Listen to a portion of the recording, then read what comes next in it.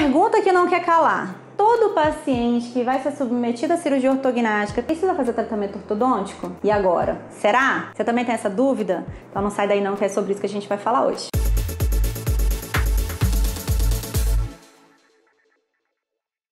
Olá você, tudo bem? Olha a gente aqui de volta, quem eu trouxe de volta? Eu sou Juliana Medeiros, sou cirurgiã bucomaxila implantodontista do grupo Perfil.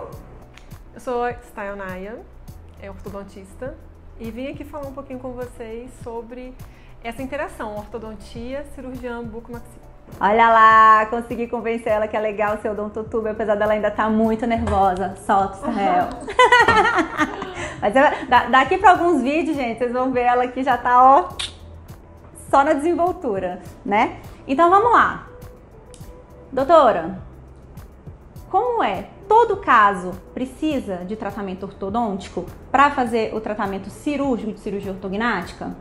Eu acredito que é importante essa interação porque o ortodontista ele vai preparar o alinhamento, o nivelamento da arcada do paciente para encaminhar para o cirurgião bucomaxilo. É muito comum um paciente às vezes chega aqui pra gente e fala assim: "Ah, mas eu não quero fazer o tratamento ortodôntico". Gente, o tratamento chama ortocirúrgico. Existem alguns pouco, poucos casos em que o paciente já tem a mordida certinha, mas precisa da cirurgia ortognática por uma questão de assimetria. Então, um lado cresceu mais do que o outro e entortou todo o complexo, mas a mordida em si tá super certinha, alinhada, inclusive já até fez tratamento ortodôntico.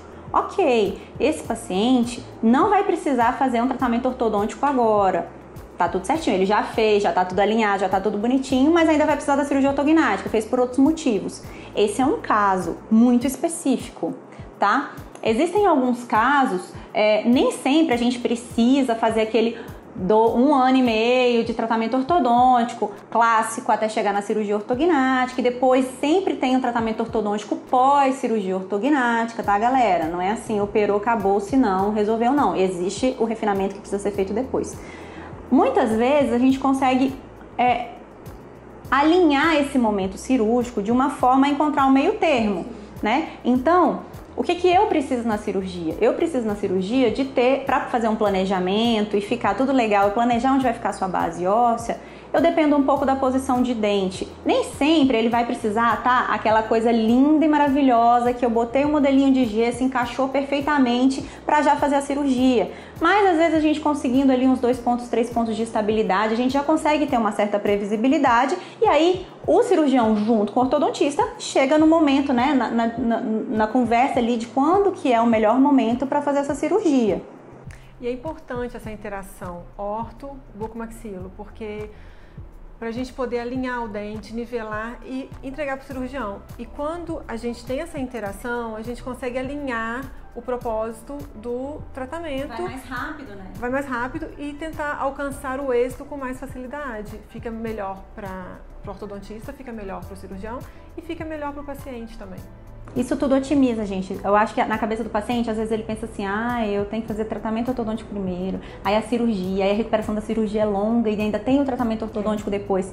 Se você já entende isso, que isso é importante, precisa disso, e já começa desde o início com a equipe completa, você ganha tempo. É muito comum, eu estava contando aqui para Estel, é muito comum a gente receber paciente às vezes que passou todo o preparo ortodôntico sem um cirurgião bucomaxilo e aí depois chega pra gente e fala assim: eu vim porque eu, é, é, o ortodontista falou que eu já tô pronto. Eu falei, ué, mas ele não sabia que, qual, qual que ia ser meu planejamento, que movimento que eu ia fazer. Às vezes tem um movimento que nem precisava ser feito, né? E aí a gente vai ver, às vezes tem alguma coisa que eu precisava para o planejamento, e então ainda vai ter coisa para fazer que poderia já ter sido feito. Ou às vezes nem precisa, né, Stael? Às vezes o ortodontista ali fala para mim: olha, eu vou dar uma alinhada aqui nivelada, vai facilitar essa parte aqui para sua cirurgia. Depois a gente já chega na conclusão que já tá ok, é, faz vezes, o resto depois da cirurgia. Exato, às vezes quatro, seis meses só para alinhar e já preparar para a cirurgia. E aí fez a cirurgia, volta, acaba de fazer o refinamento e pronto, acabou. É simples. Então, gente, para responder essa pergunta, e aí, todo caso precisa de tratamento ortodôntico? Não sei qual é o seu caso. Procure uma equipe, monte a sua equipe, procure um ortodontista, procure um cirurgião bucomaxilo, que eles em conjunto vão estudar seu caso e vão chegar à conclusão se o seu caso que tanto de, se precisa do tratamento ortodôntico e que tanto de tratamento do ortodôntico vai precisar antes Sim. e depois da cirurgia. É simples assim, cada caso é um caso, gente. Não tem como a gente responder e usar essa fórmula para todo mundo. Exatamente. E se você gostou, não esquece de curtir, deixar seu like, compartilhar. Manda para aquele amiguinho lá que tá enrolando porque tá com preguiça, porque o, o, caminho é longo. O caminho é longo, gente, mas se você não começar nunca, ele fica maior ainda. E você não escapa dele se você é um paciente ortocirúrgico, né? Então, manda para ele, não esquece de deixar seu like, compartilhar deixa comentário. As redes sociais da Doutora Style vão ficar aqui no, na, na descrição, tá bom?